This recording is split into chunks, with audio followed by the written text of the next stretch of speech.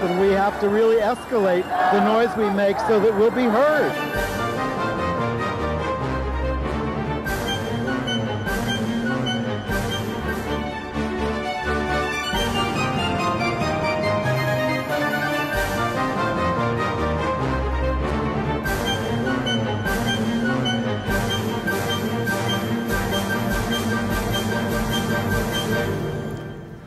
Welcome to Gay USA. I'm Andy Humm. I'm Ann Northrop. Happy National Coming Out Day, October Oh, 11th. That's a good thing to think about. Well, the big news uh, three landmark LGBT cases went before the Supreme Court on Tuesday to decide the question is anti LGBT discrimination illegal? Because of sex discrimination being forbidden. Uh, the big news is that we have some chance of winning them. Our guest is New York Law School professor Arthur Leonard, who has been tracking these kinds of cases for decades. And in other news that we'll get to after talking to Art, uh, well, as part of that, more than 100 people were arrested outside the Supreme Court in a civil disobedience action. And this week, uh, Trump halted visas for same sex partners of diplomats and UN employees who don't marry. He just will not let up. Uh, a federal judge struck down Tampa, Florida's ban on conversion therapy. Elisha Stanley was shot to death in Pittsburgh. This is the 19th known trans person murdered in the United States this year. On October 17th in New York, we will mark the 40th anniversary of the first March on Washington for lesbian and gay rights, which is what it was called then. And a red alert the CDC says that three major sexually transmitted infections are at an all time high in the United States. All sorts of news, but we're going to start with an analysis of the Supreme Court arguments yesterday and assess our chances in these cases. Do you want to go into any detail about what this is in these cases?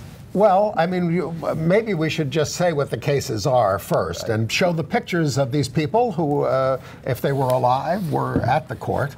Uh, because, well, One of them is deceased. yes, uh, the, the first was a, a, a transgender rights case. Amy Stevens, and uh, we have a picture of Amy. There she is, um, and she. Uh, why don't you Why don't you tell us what these cases are? Okay, Amy Stevens, uh, first name Anthony when she was hired, uh, worked for several years for Harris Funeral Homes, a chain in the suburbs of Detroit, and was well respected, doing well. And then she had been dealing with her gender identity issues for years, and she had started to. Uh, to live in accord with her female identity outside of work. But in work, she was following the male dress code and grooming appropriately. Uh, and at some point, she said, I just can't do this anymore, this, this double life. It's not working for me. And so she decided to come out to her employer in a detailed letter explaining what was going on. And her summer vacation break was coming up. She said, When I come back, I'm going to be in my female persona and I'm going to comply with your female dress code. Don't come back, she well, was told. Well, not right away. Her, her boss took a day or two to think it over, and then he told her, "This isn't going to work for me."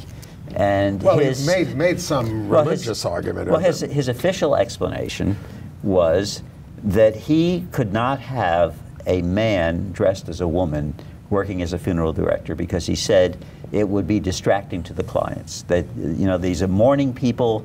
They're coming in. They need to be comforted, etc. Don't distract them with another issue. And he also said it offends my uh, religious beliefs. I don't believe that people uh, can change their gender. Okay. As if it's up to him. And should we go through the, just mention the other? Yeah, then there are two uh, sexual orientation uh, Right. discrimination cases. Uh, Gerald Bostock, Yes, from Clayton County, Georgia. Yeah. Uh, he was working for the county, uh, actually supervising a program for children, and was, again, very well respected. Uh, and he decided to join a gay softball league. And the word got back to his employer out. Now, they claimed that there was some kind of problem with the reimbursements he was asking for for job-related expenses. Nonsense. He says, no, that's, that's not it. It's because I'm gay. They didn't want me working with kids. And ironically, there are a lot of uh, straight people on gay softball teams. Right, that's that's true, uh, except for those leagues that are trying to be exclusionary. Yes. Uh, and then we have the case of the late Don Zarda, who was a skydiving instructor for a Oh, company. Oh, sorry, Don called- Zarda. I Don had him as Daniel. I Don, apologize. uh, Sorry. who uh, was a uh, skydiving instructor for a company out on Long Island called Altitude Express. mm -hmm.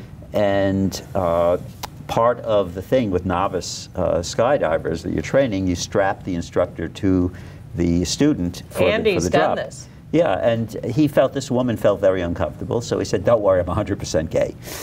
And when they landed, she told her boyfriend, "He came out to me while I was strapped to him. That's terrible." You know, and then Oh, the did boyfriend. she object? I she know the obje- well, the boyfriend boyfriend objected. The boyfriend yeah. went to the boss. The boss said, "I don't think that's good judgment to come out to people." He's fired. Uh, so both Bostock and Zarda sued under Title VII. Uh, Zarda in New York State also sued under the New York State Human Rights Law, which specifically forbids sexual orientation discrimination. Uh, Bostock also sued under the Equal Protection Clause because, as a public employee, he could claim uh, some protection on a constitutional basis. Uh, the court in Georgia dismissed his Title VII claim on the grounds that the Title VII, which forbids sex discrimination, doesn't cover sexual orientation. And a previous decision had rejected that argument. Well, yeah, there, there's long-standing precedent in the 11th Circuit, Yeah. which uh, Georgia's within the 11th Circuit. The ironic thing is the 11th Circuit case dates back to the 1970s. It's really an antique. And furthermore, it doesn't contain any analysis of this issue whatsoever because it seems that the issue of sexual orientation was not the main issue in the case. Well, we've seen this, and we saw this Yeah. in marriage cases where uh, uh, right-wing judges would rely on precedents that were Yeah. really out of date and had nothing to do with current times. Although the 11th Circuit has never reversed that precedent. That actually was a Fifth Circuit precedent from before they split the Fifth Circuit in half, and the eastern half became the 11th All right, Circuit. now you just lost Yeah. me. All right, now, so before- Don Real. Zarda then Zarda was in the in uh, federal district court out on Long Island Yeah. in Brooklyn, and uh, he sued under both Title VII and the New York Human Rights Law. Yeah. The judge dismissed his Title VII claim on grounds that under the Sec- Second Circuit precedent at the time, sexual orientation is not covered. Uh, but they went to trial on the New York Human Rights claim, and he lost at trial. Uh, partly because the judge gave a charge to the jury uh, that led the jury to believe that they could only rule in his favor if they found that his sexual orientation was the sole motivating factor in the discharge, and they decided it wasn't. Uh, that kind of charge could not be given under Title VII because Title VII specifically allows dual motivation cases. That is, if sex was a factor, then the plaintiff can win the case, even if there were other factors. And that's going to be very important when we start talking about Right. what happened in the courtroom. Right. But bef- before but we. he eventually but, but he appealed. Well, he, he died after he filed his lawsuit. In fact, after his trial, and then it was on appeal, and he died, and his estate decided to carry it on. Okay. But it went to the Second Circuit. A three-judge panel ruled against him on the grounds that circuit precedent was binding on this, Right. and then it went en banc. That means the entire circuit. I think 13 judges, and they overwhelmingly voted to reverse the uh, district court and to reinstate the sexual orientation claim under Title VII. All right. So the bottom line, and we're going to discuss these cases. Uh, um, you know, is sexual orientation, is gender identity, is it sex discrimination? This Right. is this was what was at issue in the court. But I, I want to reassure our viewers before we go into this that there are still. Tw- 22 states that cover uh, sexual orientation, and 21 of those uh, pr- also protect uh, transgender people already, states. And there are many localities that do, even within states. I mean, Kentucky, 14 cities protect you on the basis of sexual In, orientation. in and gender. Pennsylvania, unless you're living in very remote rural areas, you're protected by local law, even though Pennsylvania doesn't have a state law on this Right. yet. Although Yeah. the guy blocking it uh, Yeah. just uh, had to leave the uh, legislature for. So maybe we'll get it eventually in Yeah. Pennsylvania. But so I, I just want to reassure people about that. So what, whatever happens with these cases, those laws still stand. Right. And uh, but but it will affect some of these places, some of these states and these circuits uh, where uh, we're only covered by Yeah, judicial the, the areas that will be most affected will be the southeast and the Rocky Mountain states. That's where we have the, the least penetration in terms of sexual orientation and gender identity laws. Uh, but will the if we lose these cases at the Supreme Court, will the right wing be emboldened to start attacking some of those laws or regulations to get them repealed or They might try. I mean, It's politics is politics. diluted, You know, yeah. I think I think if we lose these cases, and there's a possibility that we'll lose, uh, we have to really get intensely political and get that Equality Act passed. The Federal Equality Act would, would not only cover this, but it would cover a lot of other things Right. as well. It's very important to do. So don't stop working on the Equality Act while we wait for these cases, which we might not get a decision until June. So let's go to the Supreme Court this week and the arguments on these cases. Right, and the first thing that you have to remember is this is judicial theater. Yes. You know, what happens in the hearing? How many cases are decided based on the arguments in the hearing? You ask any judge, and they will tell you a very tiny percentage. Right. Because before there's this hearing, all the parties have submitted briefs, extensive briefs, with their legal arguments all spelled out. Mm -hmm. Amici, that is, friends on both sides, have submitted their briefs. The court has more than 50 briefs altogether uh, on these uh, three different cases, all combined. Uh, so And they're only doing an hour Right. of It's- argument. it's been, it's been argued up to the- kazoo. yeah. And so then they go into the oral argument. And in the oral argument, the judges presumably ask those questions that are particularly bothering them, having already studied the issue. Because Right. the Supreme Court is what is known as a hot bench. That means the uh, judges have already informed themselves about the arguments of the parties before they go to the hearing. So they're just focusing in on the points, the pressure points, the things that they think are very critical that need to be resolved, and looking for what kinds of answers they get, and then uh, asking one side what they think of the other side's answers. And it's, it's also a forum in which they try to persuade each other sometimes. Yes. Sometimes they use questions to try to make a point with the other judges. But then, after the argument, the court has its weekly conference on Friday. They review all the cases they've heard that week. They do an initial straw vote. Uh, opinions and dissenting opinions are assigned. Uh, if the Chief Justice is in the majority, he assigns the opinion for the court. If he's in dissent, the senior judge in the majority assigns the opinion for the court. assigns the writing of the decision. Right, the writing of the Yeah. decision. But then drafts are exchanged, and minds sometimes change. Sometimes someone who feels that the case should come out a certain way finds that it just doesn't write. You know, that they try to explain it and they keep coming around to another viewpoint. And that's what happened with Chief Justice Roberts in the famous case upholding the Affordable Care Act. Really? Yeah, it's, it's, it, I remember reading the slip opinion that came from the court that they posted the day it was announced. I think they cleaned it up a little bit after that, which they do occasionally. But there were, sh- there were signs that Roberts had written that opinion differently. And then he changed his mind and came up with a theory to uphold part of the Affordable Care Act and just strike down another part of it. And so, uh, you know, his, the majority shifted. He all of a sudden, on certain points, was agreeing with the liberals, and on other points with the conservatives. And it ended up with a decision that, when it was announced, totally flummoxed people in the press who went out running and said the Affordable Care Act has been struck down. Because the first part of the opinion Yes. said that it wasn't supported by the Commerce Clause. But you know, to get back to this one, uh, this is a big argument about statutory interpretation. And so what people have Let's to slow understand. down on that. Yeah. This is not a constitutional, Not a law constitutional case. They're not deciding on the 14th Amendment It's and not equal about protection or or, due anything like process that. This is anything. about what is Right. in the Civil Rights Act of 1964, which says you can't discriminate because of sex. against an individual because of the individual's sex. Okay. And when the bill, the Civil Rights Bill, was reported out to the House of Representatives, sex was not listed. The grounds of prohibited discrimination were race or color, religion, and national origin. And a floor amendment was proposed by a conservative Southern congressman who was not in favor of the bill to add sex. Some people say it was a poison pill. Yes. He thought you get it in the bill and then it'll die. Right. Uh, Kill but it. A, a- It passed. But yeah, a weird coalition of Southern conservatives and Northern liberals got together and added sex, and it, then it went to the Senate, and in the Senate it went directly to the floor under a negotiated agreement to keep the conservative Southern senators, who were the chairs of all the committees, from blocking it up. Uh, so it went into the Senate. Uh, there's very little debate or legislative history about what sex means in there. And after an, a lengthy filibuster, it was passed.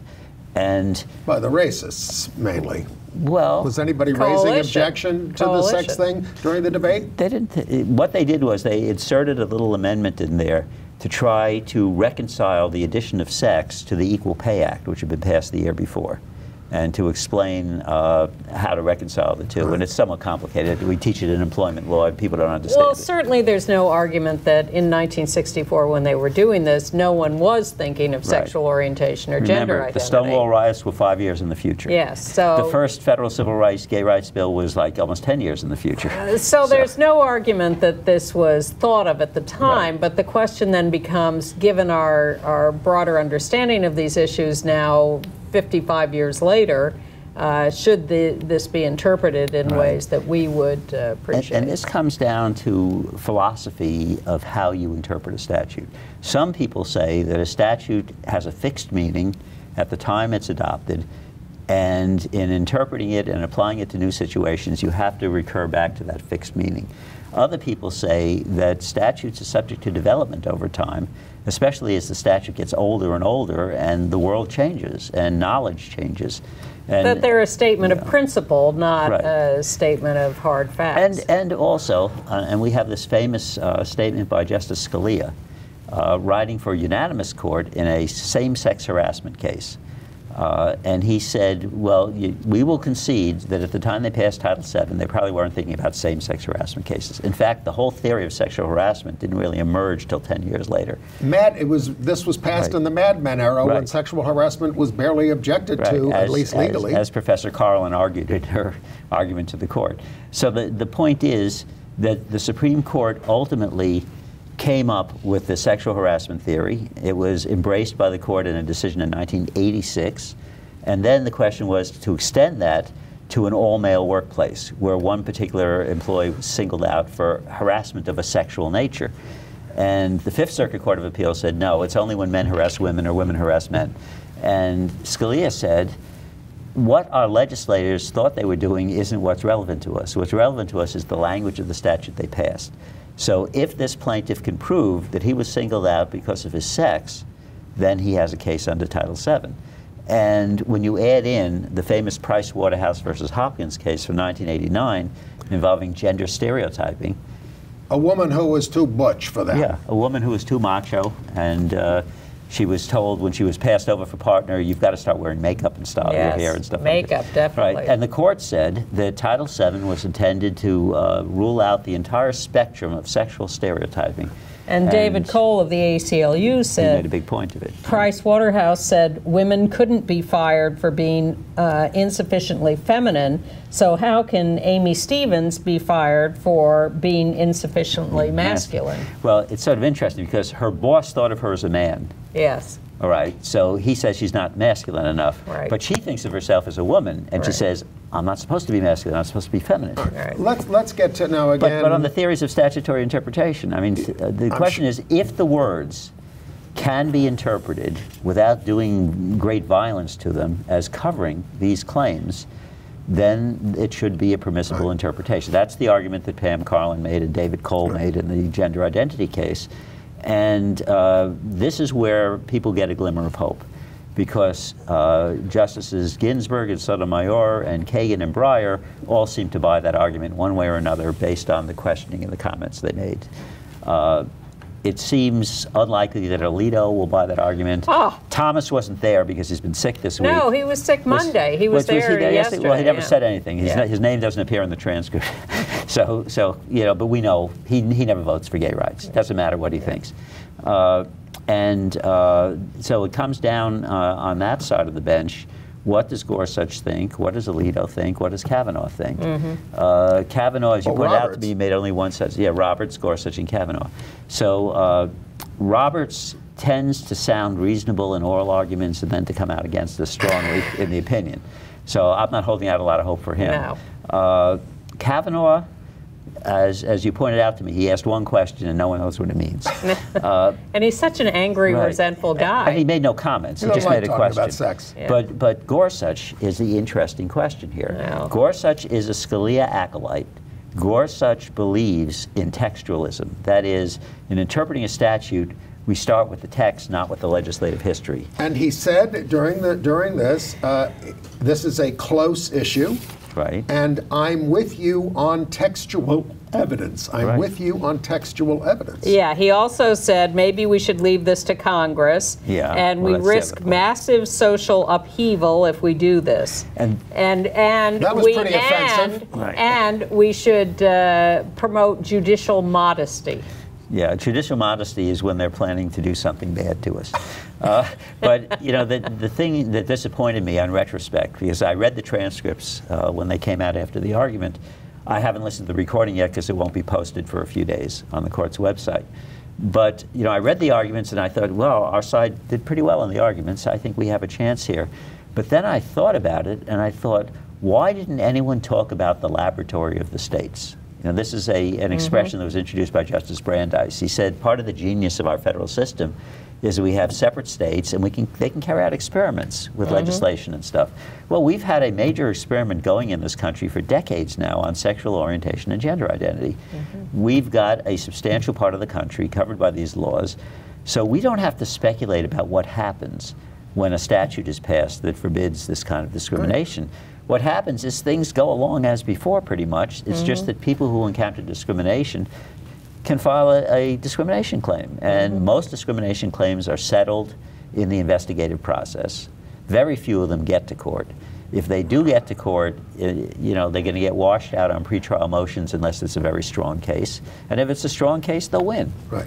And and Justice Roberts could say, oh my God, if we, if we give you these rights, I mean, uh, what about religious exemptions? But they're suing under the Civil Rights Act, which has a religious exemption Right. clause, as all human rights laws do. But they, but Yes, but- Roberts and the others do not think the religious exemption Yeah. is broad enough. Right. They and, and they specifically raised it. I, I forget whether it was Roberts or Alito who said, "Well, what about the businessman with religious objections to Yes. employing gay people Yes. or transgender Yes. people?" And the answer is that we have not given a pass.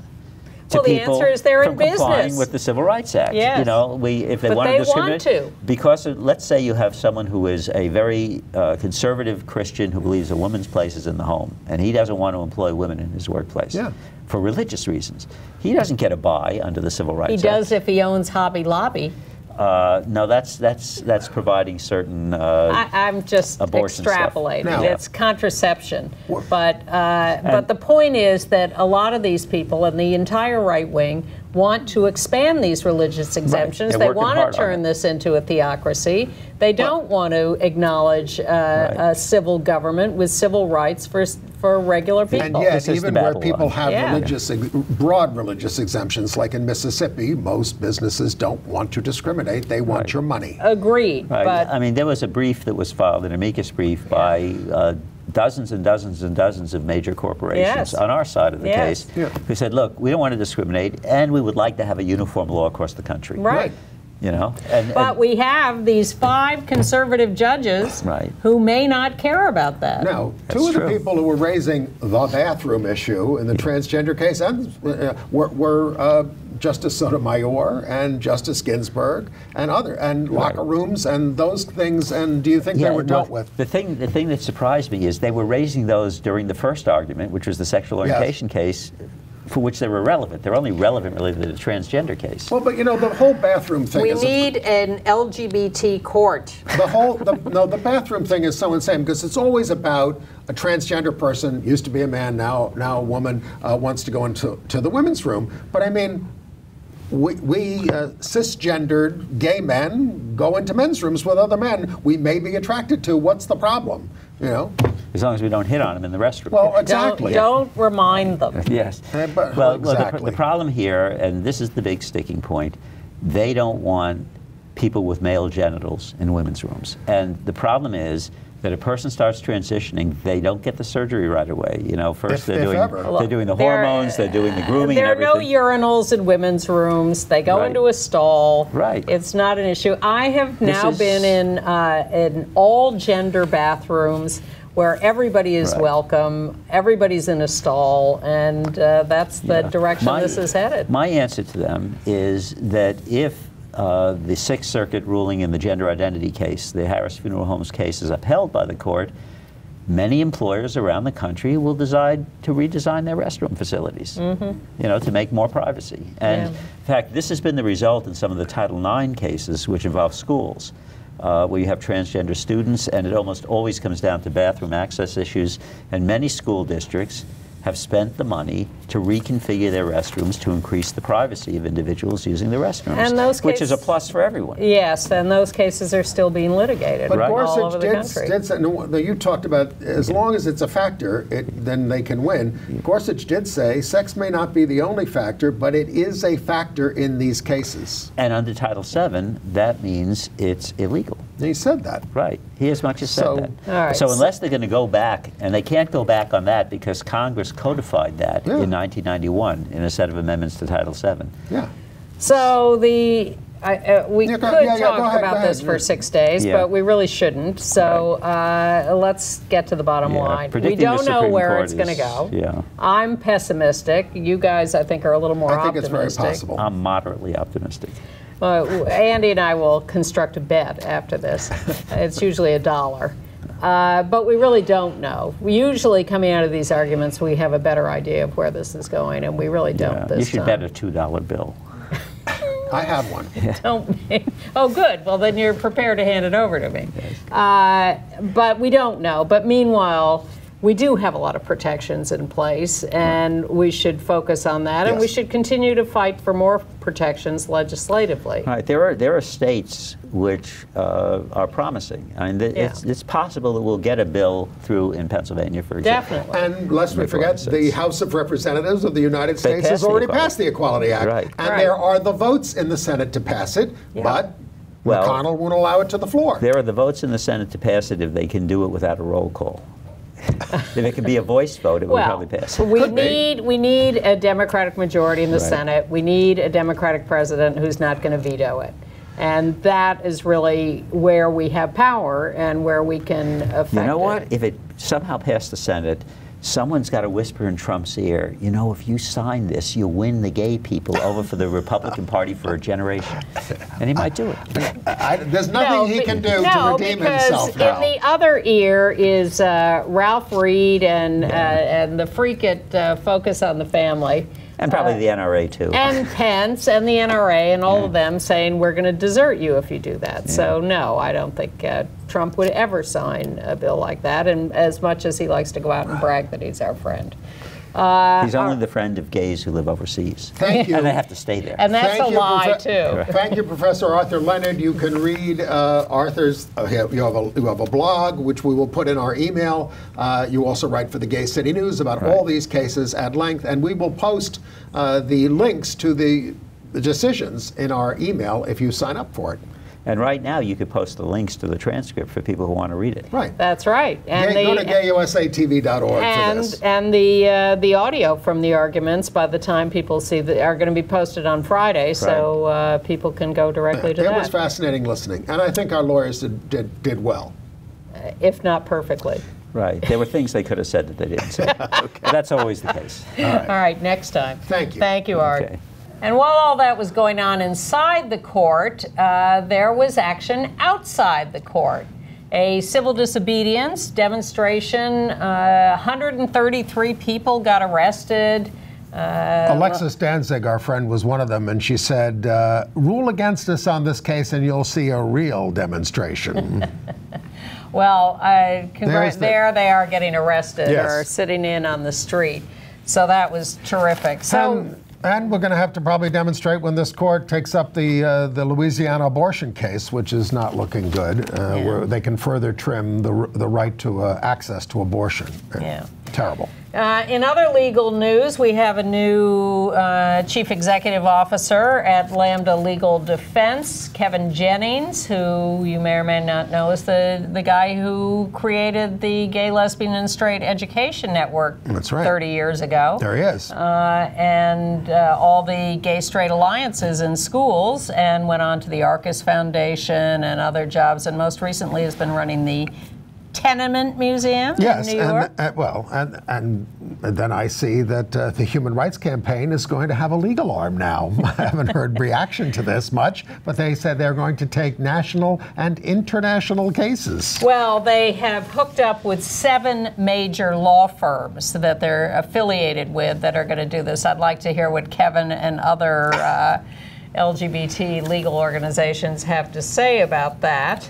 Well, and, and also on the legal front, in uh, Tampa, Yes. uh, a federal judge ruled that their ban on conversion therapy was uh, uh, illegal. They can't do that. Uh, it's against free speech, it's against parental rights, and the state should be regulating psychotherapy, not. Uh, the, yeah, if there's the- any real problem, the state, the, you know, the state board can regulate it. Well, I mean, come on, this is a law. I mean, what, what, these judges don't don't respect uh, the law. Yeah. All right. So, okay, so what else? Let's talk about some Trump stuff. Uh, you know, obviously, stonewalling on the impeachment investigation. Only the courts can step in now, uh, or the House can use its uh, uh, uh, power and uh, just get it over with. I mean, they got to they got to move on it. I mean, I'm getting a little impatient. Impatient, they just got started. Uh, what more do you need to know? Uh, look, you, you have to bring the American people along, they are bringing the American people along. Support is rising, but I, uh, they've got to get it. They've had. Well- uh, they got to get more witnesses, more details, and uh, Well- move on this uh, firmly but logically. The one thing that seems to have riled up Republicans is his green lighting of the Turkish massacre of the Yes. Kurds in Syria. So Yes. that's but but what what a price to pay. Well, exactly, and uh, we'll see how that proceeds. By the way, he kicked off his 2020 campaign with an opening prayer from Paula White, who referred to the demonic networks aligned to destroy the White House. And he got a lot of support from Ralph Reed this week in a book. Um, I wish he would be impeached for uh, now stating no visas for the partners of diplomats or UN employees working in this country if they are unmarried. yeah, and they, a lot of them come from countries where they can't get married. And They where, could get married here, but Yes. then they'd be stoned to death when they go back to their countries. Yes. So that's pretty So awful. they have to get married by the end of this year, or they don't get allowed to come here on visas as partners. And for those of you reliant on food stamps, they're cutting them $75 uh, uh, per recipient a month. Samantha Power called the visa thing unnecessarily cruel and bigoted. Uh, so much that, uh, well, what about what Betsy DeVos did? I mean, you know, she's now being threatened by a federal judge with jail for violating a court order for continuing to collect student debts on a now defunct school, Corinthian Colleges Yes. Incorporated. This affects 16,000 students. The 1,800 of them have had their wages garnished or their tax refunds garnished. And the judge said, This is gross negligence. I have the right to put you in jail. Do well, it. I'm not sure they would go to jail. You know, they're just stonewalling everything. They're just refusing to comply with the law. They are breaking the law on a daily basis and re- rejecting any attempts to get them to comply. Well, at least there's a House resolution condemning Ben Carson for transphobia. And uh, now we have news of a case at the National Science Foundation where a manager has been making unbelievably crude anti LGBT comments to employees. Uh, they, the employees have complained to him and his superiors. They've done nothing. They finally went to the union. The union registered a formal complaint. Uh, and the result of that was that uh, crosses were drawn on the locker nameplates of three employees. Wow. I- I'm telling you, it's a pitched battle. And these people, uh, some have said, oh, we can impeach him, but he's never going away. He's not leaving office. And I've thought, uh, what are you talking about? That's ridiculous. I no longer think it's ridiculous. Can I give them a little good news? Be my guest. Maryland, Maryland now allows non-binary options on your personal ID documents. Uh, and then there was this. This is not neither good nor bad, but interesting. The, the- a survey found that one in five LGBTQ youth identify as other than gay, lesbian, or bisexual. They're now using identifying as queer, trisexual, uh, omnisexual, or pansexual. We have to keep up with it. Can't keep up with the nomenclature. In New York City, a new task force has been put together to examine the situation for trans people in jails. And there's a big controversy over the proposal to uh, close Rikers, the big facility, Yes. and, and build neighborhood jails. Yes. In uh, Orlando, uh, six designs for the National Pulse Memorial have been, well, they've been unveiled for a bit, but they're, uh, they, you, you can see these at the, if you go to onepulsefoundation.org. Uh, a lot of them are very elaborate presentations, and some of them I found quite moving. They're going to announce a winner on October 30th. It's not just the site, it's like the whole area is being turned into a memorial. I have mixed feelings about memorials. I do too. Yeah. It's the best way to forget something is to memorialize it. Well, and uh, we're going to memorialize all the trans people who have been murdered. Uh, the latest one from uh, Pittsburgh. Uh, another black trans woman, uh, Alicia Stanley. She's from D.C., but she and she worked in healthcare. She was murdered on a trip to Pittsburgh, where she was visiting people she considered to be her children, which is a phrase used a lot within the transgender community. And then there have been some uh, strange little attacks all over in Dayton, Ohio, at the University of Dayton. My father's alma mater. Uh, students rallied after this. Uh, well, they put up. They had the flags vandalized. They're rainbow flags. and a banner was torn down. Yes. So the, what the great thing is that the Flyer News, the newspaper of the, uh, decided to put a rainbow flag on its cover, so that a rainbow flag was everywhere on campus. And what's interesting Nice. to me about this, this is a school of Marianist brothers who teach there. They taught me in high school, and we were very homophobic. But the school was, of course, defending the gay group, the Spectrum group. So that's uh, that's encouraging. In Syracuse, New York, a Unitarian Universalist church has been hired, fire, flying a rainbow flag for three years, but it has now been torn down and burned. Yeah. They've ordered a new flag to replace it. Where, where are we And in Olympia, Washington, uh, uh, businesses with, uh, are, you know, fly rainbow flags. In fact, they were flying them for pride and then they kept them up because Yep. they liked them. And now signs have been posted around town on some of those businesses, uh, anonymous flyers saying you are in violation of natural laws of decency. Right. And a, a window was broken Yeah. uh, near one of those. So they've the answer is they've ordered bigger flags. Well, in West Virginia, it's not just uh, vandalism; it's it's harassment. In Morgantown, a mother is suing uh, the Monongalia County Board of Education. Monongahela. thank you very much. Say it again. Monongahela. Okay. Uh, Board of Ed for ignoring homophobic abuse against her son that led to his getting raped. The teacher never, who heard about the rape, never reported it. The son had to interact with the rape rapist at school. So, Terrible. Mother is suing. And in Racine, Wisconsin, a gay man was uh, attacked and viciously beaten by a group of three men on the street. One of those attackers has been arrested. The guy who was attacked had his jaw broken and all his teeth had to be removed because he was so viciously uh, beaten up. Yeah, this is the, the this is the societal upheaval that you should be concerned about, Yes, justices. this exactly. is the societal upheaval. This is what LGBT people live with from coast to coast. Uh, All right. But Governor Newsom wants to give us some more protections. He signed a bill that gives you the right to sue if someone creates a deep flake uh, that places you in a porn film without your consent. Now, now, it's also illegal to distribute manipulated videos that aim to discredit a political candidate to deceive voters within 60 days of an election, so get it over with. But 96% of these deep flake videos are porn mostly featuring female actors and singers who were placed into these things. Now you're going to be able to sue over that. And also in California, uh, the police in LA have uh, leveled a second death charge against Ed Buck, the guy who's Ugh. been luring and killing uh, mostly black gay men with crystal meth. Uh, so now he's been charged with deaths in 2017 and 2019.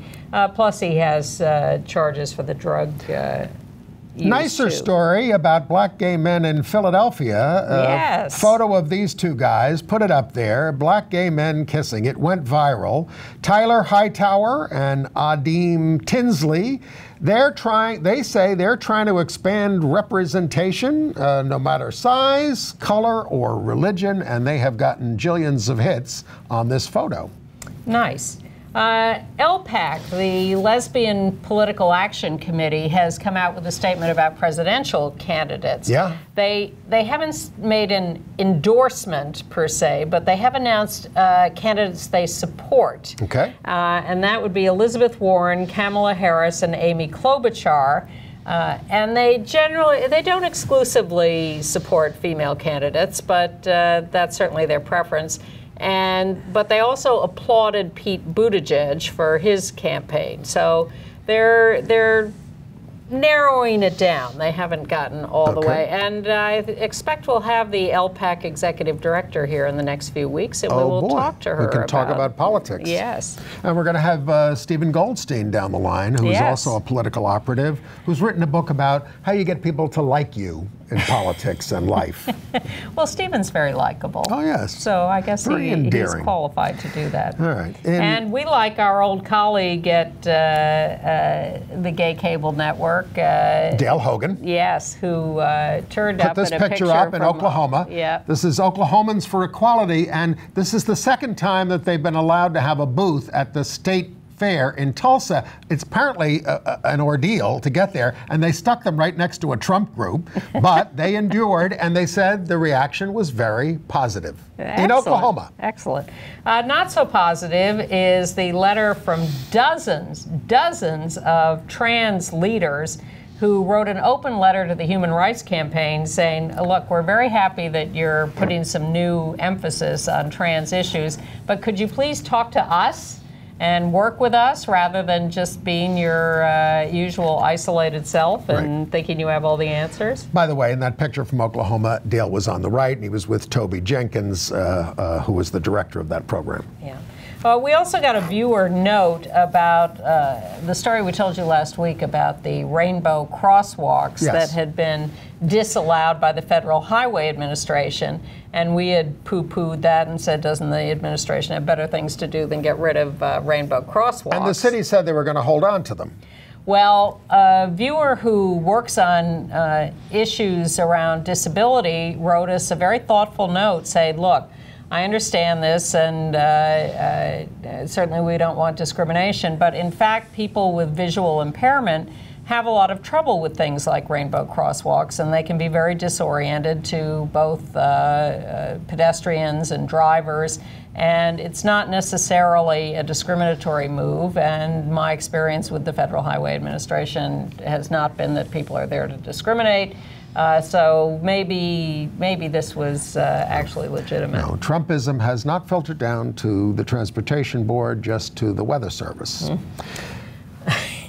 All right. Yeah, just don't draw on those crosswalks with sharpies. Hey, now, uh, uh, October 14th is actually the uh, 40th anniversary of the first March on Washington for Lesbian and Gay Rights. We were there. We were. Uh, Not, we didn't know each other then, I don't think. No, that was 79. We didn't meet till like 87. 86. Oh, yeah, 86, 7. Yeah. Uh, anyway, uh, so, the, but there's a picture from it, and I remember going, getting off the bus from New York and going to this thing, and this was the first one. So who's going to show up? And I saw, I saw this vision, Yeah. and I started crying because you know I'm from New York, but I- and you think you know it's not, ju- but you learned it's not just a coastal movement. Everybody is from everywhere, and it was just very, very moving. Uh, so there's going to be a celebration of that on October 17th at Congregation Beth Simchat Torah, 130 West 30th Street at 6:30 p.m. on October 17th. Join us. Uh, well, we may have met in, I say 87, you say 86, but we met again this weekend in the New York Times crossword puzzle. Okay. Oh Okada, were we a clue? Here's the clue Ann and Andy, notably. What was the answer? What was the answer?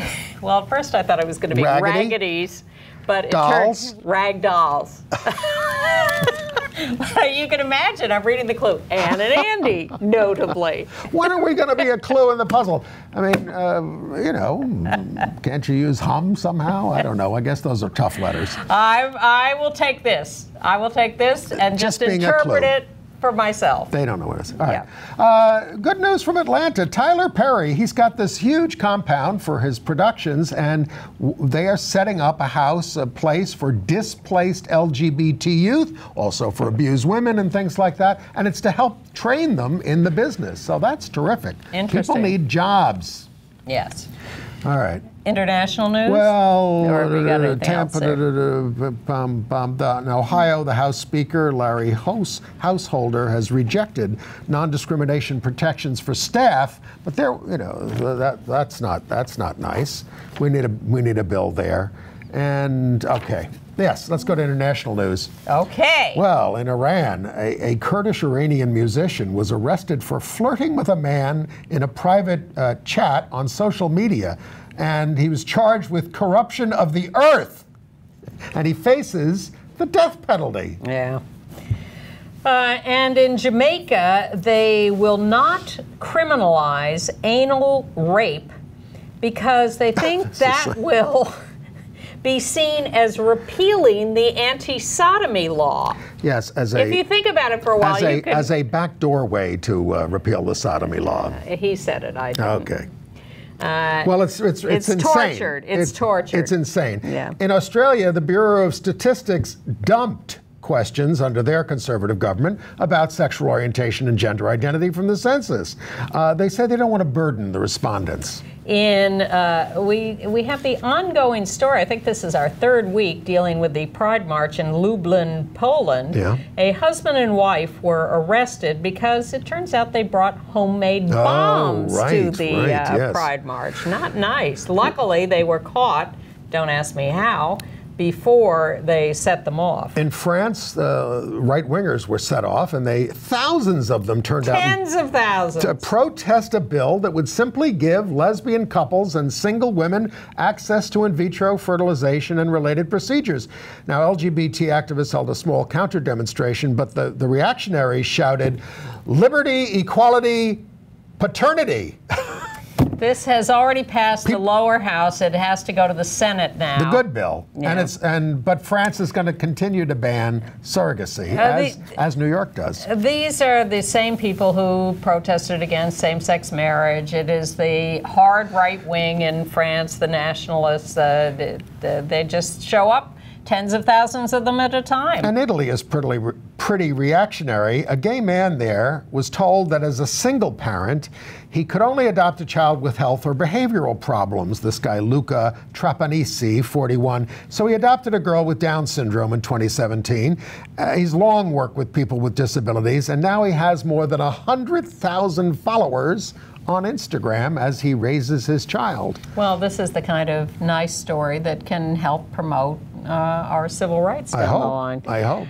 Uh, in Britain, uh, complaints, as we noticed, that very few people have been pardoned under the Alan Turing law, which was supposed to forgive uh, people who had been, mostly gay men, who had been arrested and convicted for uh, They're, sex. they're being very withholding with these uh, pardons. They are because they're saying, well, you were charged under public sex laws, and that's still in like force. So being in the park. I mean, Yeah. uh, uh, under when when they liberalized uh, uh, laws about homosexuality, you still had to have it in your home, and no one else could be in the house, and no one else no one else could be in the house. Had to be two people, no one else.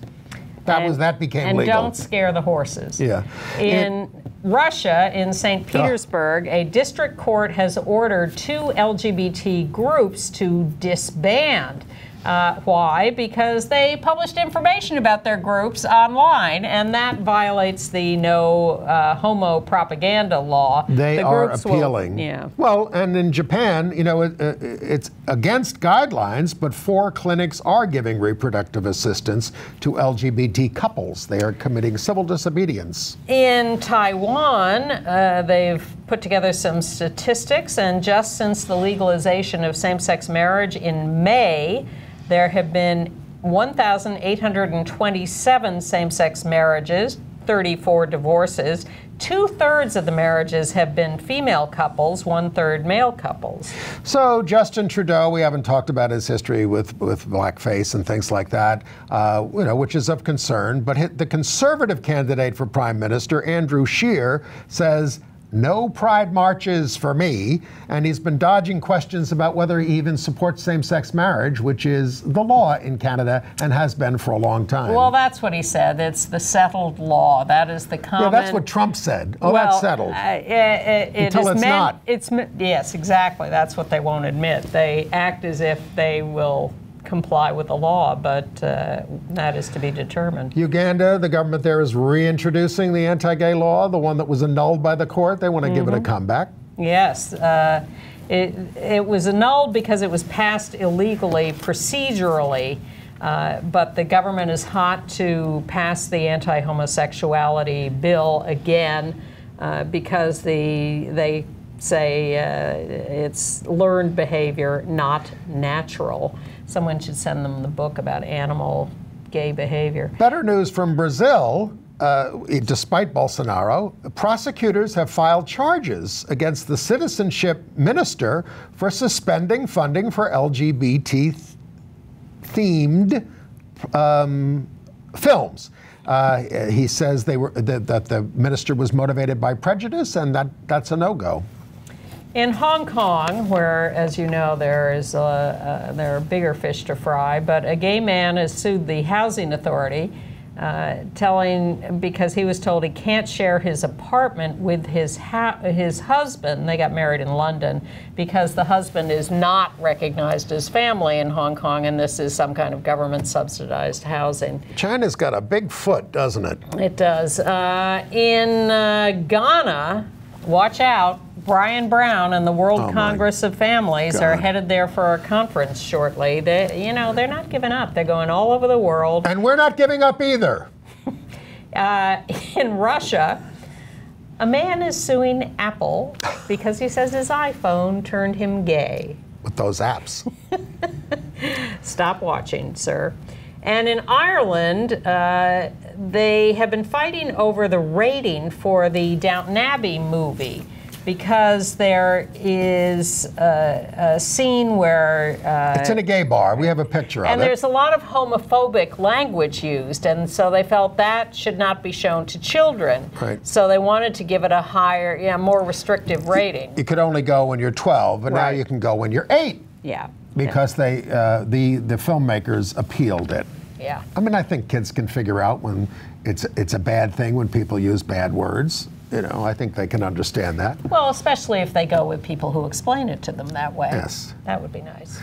Okay. AIDS news? Yes. right. Uh, well, Governor Newsom signed another bill to offer PrEP and PEP without a prescription, uh, as they do with birth control and emergency contraception. So, and this also bars companies from requiring prior authorization, and you can get a 30 to 60 day supply on demand. This is the first over the counter availability in this country, anyway, of PrEP and is considered a great step forward that people can make a decision to go on preventive medicine and not have to go through a big rigmarole and can Or get insurance coverage. Yeah. Right.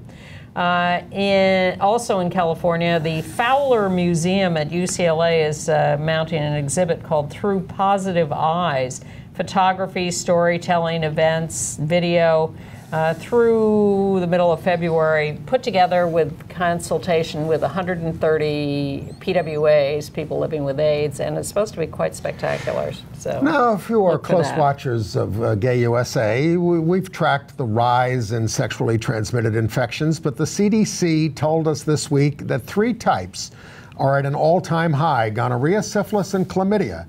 Uh, and they've been rising for the fifth consecutive year. More than 2 million diagnosed uh, of the three diseases. Uh, the most, they said, since monitoring of STIs began in this country. There's been a decline in condom use, but there's also been a surge in people getting tested, so you get more people testing positive. Uh, the highest rates are among adolescents and young adults, and uh, the most, the highest concentration is in the District of Columbia.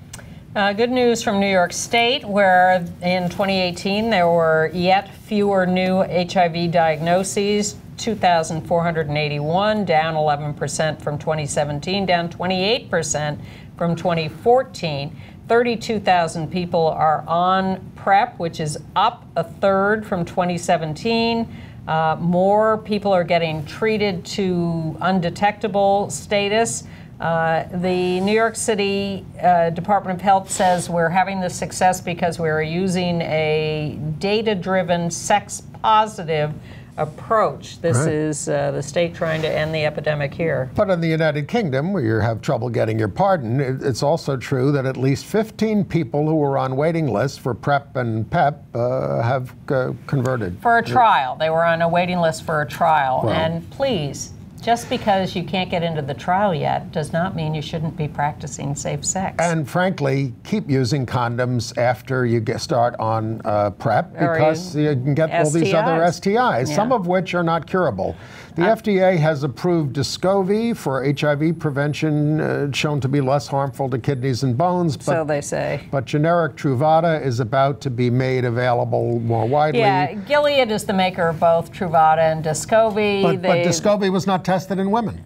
Uh, yes, so it's not approved for them, although a trial is starting in South Africa to try to make that happen. But this is, you know, Gilead, the patent was running out on Truvada, so there's this other drug which uh, they can now continue to charge more for. And there's an AIDS panic in Iran villages. Oh. Hundreds have been infected, uh, they say, by unsanitary practices in clinics. You remember the China story Two last week. minutes, yeah. Or was it already there? Major protests going on, uh, claiming the government is giving them Better news from Ireland, where 9 in 10 HIV positive gay bi men were undetectable and cannot transmit the virus. That's terrific news. Okay.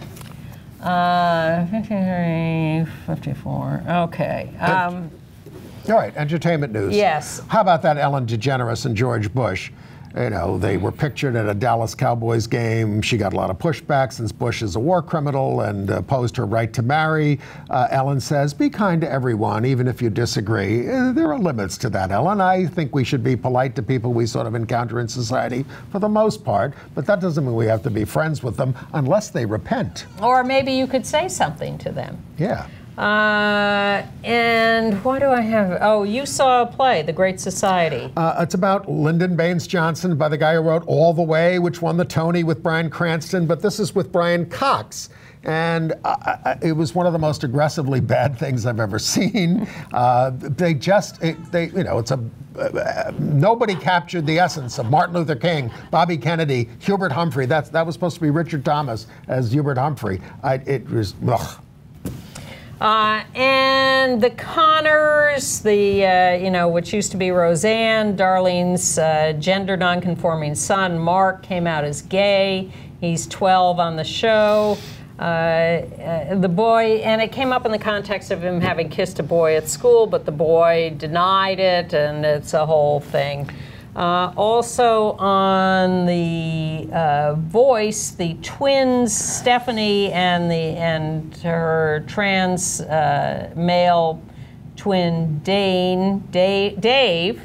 Uh, both 21. They were a huge hit, and they were will end up working with John Legend. I'm sorry to see Rip Taylor go. You gave me a lot of pleasure, made me laugh. He made it to 88, survived by his partner, uh, Robert Fortney. We should end the show with confetti in honor of Yes, oh Taylor. my God. Thank God we didn't. I can't tell some of his jokes. I'll get in trouble.